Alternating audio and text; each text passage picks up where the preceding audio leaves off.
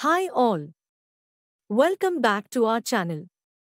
Today, we have an important topic to discuss how to effectively manage and control diabetes.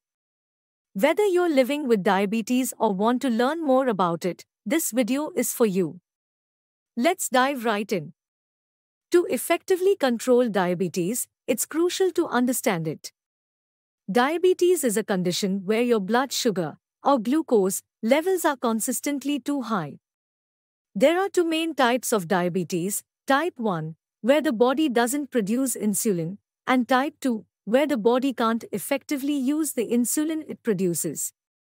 One of the most critical aspects of diabetes management is monitoring your blood sugar regularly. This helps you understand how different factors, like food, exercise, and stress, affect your levels.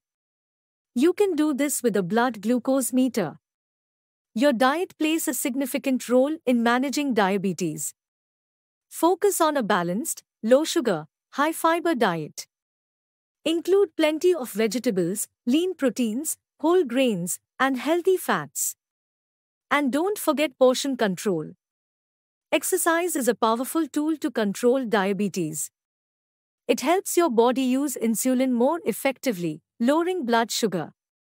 Aim for at least 150 minutes of moderate intensity aerobic activity every week, along with strength training. In some cases, your healthcare provider may prescribe medications or insulin. These are important tools to help control your blood sugar. Always follow your doctor's recommendations. Stress can affect your blood sugar levels. Practice stress management techniques like meditation, deep breathing, or yoga to keep stress in check. Be mindful of high risk situations like alcohol consumption, smoking, and unmanaged illnesses. These can make diabetes management more challenging. Regular checkups with your healthcare provider are crucial. They can adjust your treatment plan as needed and catch any potential complications early. Thanks for joining us today, and we'll see you in the next video.